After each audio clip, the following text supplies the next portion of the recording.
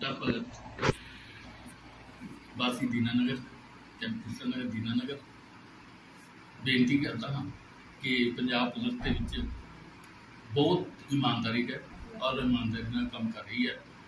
ਮੇਰਾ ਮੋਬਾਈਲ ਰਾਤ ਨੂੰ ਡਿੱਗਿਆ ਸੀ। ਜੋ ਕਿ ਸਰਦਾਰ ਪਿਆਰਾ ਸਿੰਘ ਨੂੰ ਪੰਜਾਬ ਦੇ ਹੋਮਗਾਰਡ ਦੇ ਕਰਮਚਾਰੀ ਨੇ ਉਹਨਾਂ ਮਿਲਿਆ। ਉਹਨਾਂ ਨੇ ਫੋਨ ਕਰਕੇ ਮੈਨੂੰ ਦੱਸਿਆ ਕਿ ਫੋਨ ਤੁਹਾਡਾ ਮੇਰੇ ਕੋਲ ਆ ਗਿਆ ਔਰ ਉਹਨਾਂ ਨੇ ਅੱਜ ਮੈਨੂੰ ਉਹ ਮੋਬਾਈਲ ਵਾਪਸ ਕਰ ਦਿੱਤਾ। ਮੈਂ ਪੰਜਾਬ ਪੁਲਿਸ ਦਾ ਬਹੁਤ ਬਹੁਤ ਧੰਨਵਾਦ ਕਰਦਾ। ਹਾਂ ਐਸਐਸਓ ਸਾਹਿਬ ਦਾ ਬਹੁਤ ਧੰਨਵਾਦ ਹੈਗਾ ਔਰ ਦਿਨਾਂ ਪੁਲਿਸ ਦਾ ਬਹੁਤ ਧੰਨਵਾਦ।